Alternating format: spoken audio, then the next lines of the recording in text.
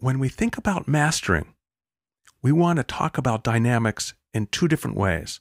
The first way is called macro dynamics. It's kind of the big picture.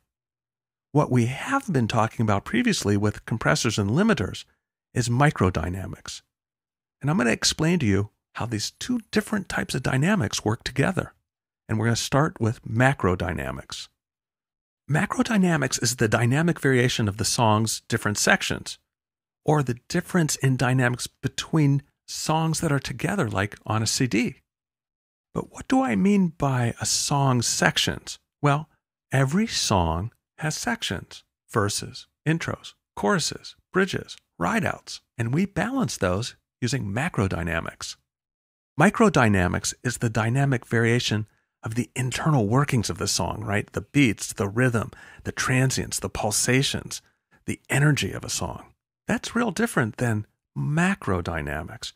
And we have a lot of powerful plugins that can help us with the microdynamics, right? Limiters and EQs and compressors and all kinds of really, really sexy plugins that can do all kinds of amazing stuff on the microdynamics.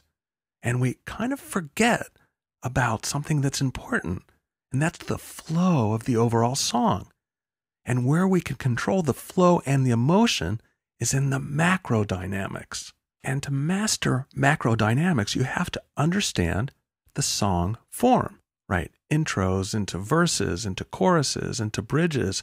And then there's the final choruses and how all of these very important parts of a song work together dynamically and emotionally.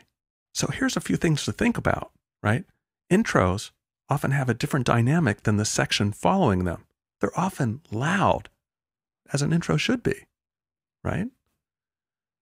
The first verse usually has a different dynamic than the chorus that follows it. It's usually softer, softer than the choruses, which are usually the loudest part of a song. And then there's the bridge. What do we do with the bridge? Well, bridges often build dynamically to the chorus that follows them. It's usually the chorus, sometimes it's a verse, but classically, it builds towards the climax of the last chorus. These are things that we can control via macro dynamics. So, if you're going to master a song, you have to understand that song's emotional line, right? Where are the climaxes? What are we building to? What's it about? What can I do with the macro dynamics to reinforce that? These are questions that you really have to ask yourself. And then you have to listen to the performances, right? You have to know when people are playing loud and when they're playing soft and when to go with them and when not to. But most important, you have to ask yourself can I enhance the dynamics and feel of this song? And you can't do that unless you really listen to the song and get it. You know what I mean? So adjusting the macro dynamics is kind of like seasoning a stew. I mean, you're there to bring out the natural flavors of this song. So let's pretend that this is our hypothetical song and it has an intro. The intro is kind of loud, then the verse gets a little softer. It builds to the chorus. It comes down a little bit in the next verse and it builds to the next chorus. And then we have a bridge that builds and builds and builds to the climax of the song. That's a possibility. Right? This is the this is the emotional line of the song. And hopefully this is the dynamic line of the song too. And if it isn't, then it's your job as the mastering engineer to bring it out. Songs can be all kinds of different emotional shapes, right?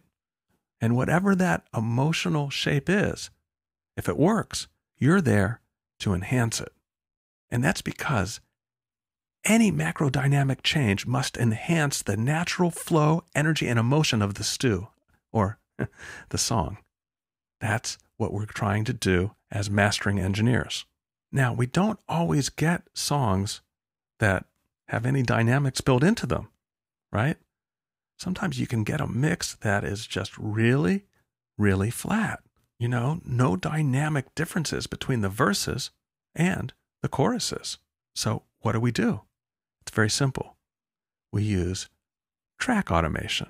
And this isn't just to fix flat songs, right? We can use this to enhance songs that already have a great dynamic and emotional line. Now, The real art of this is knowing where to boost, where to cut, and how to transition between the sections. So we're going to take a closer look at that in the next chapter.